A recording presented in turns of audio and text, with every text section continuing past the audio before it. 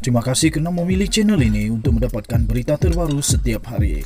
Bagi anda yang pertama kali berada dalam channel ini, sila pertimbangkan untuk tekan butang like, subscribe dan komen video ini untuk penambahbaikan pada video akan datang. Berita politik, berita semasa, berita ekonomi, berita kesihatan, pendidikan dan segalanya ada dalam channel ini. Salam sejahtera Malaysia, selamat pagi. Berita terkini daripada malaysiakini.com bertajuk Kicang, PH perlu selesai masalah komunikasi sebelum PRU15. Berita penuh, Pakatan Harapan PH perlu menyelesaikan isu kegagalan berkomunikasi sebelum pilihan raya umum ke-15 atau bakal berdepan salah anggap di kalangan pengundi, kata pemimpin veteran DAP Lim Kicang. Dia berkata empat isu yang melanda PH ialah persepsi yang bercanggah bahawa DAP adalah anti Melayu dan juga telah menjual kepentingan orang bukan Melayu di mana gabungan itu juga dianggap gagal menunaikan janji ketika menjadi kerajaan serta gagal menjelaskan kepentingan keputusan pilihan raya umum 2018.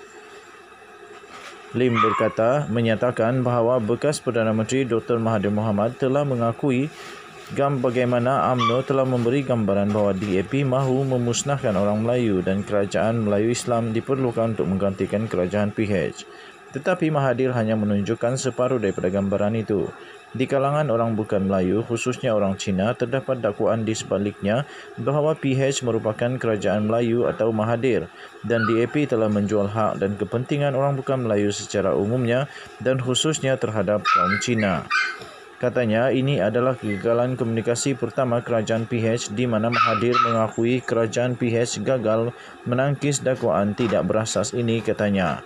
Ahli Parlimen Iskandar Putri itu berkata PH juga tidak dapat menjelaskan dakwaan bahawa gabungan itu gagal melaksanakan manifesto selama 22 bulan mentadbir sehingga ia ditumbangkan melalui pengkhianatan. Tambahnya lagi, ada sebab yang wajar untuk rakyat Malaysia tidak berpuas hati dengan perkembangan pembaruan institusi atau perkembangan pelaksanaan janji-janji pilihan raya.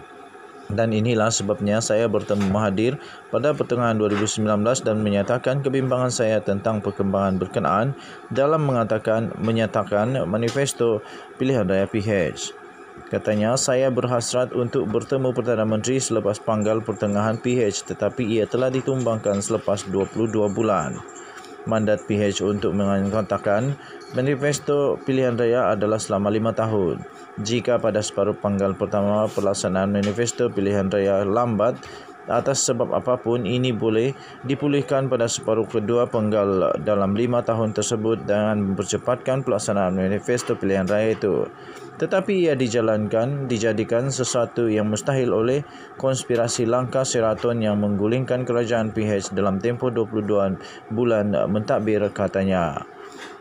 Sekian berita, salam sejahtera Malaysia. Untuk mendapatkan berita lengkap sila layari Malaysia kini. Kita jumpa lagi.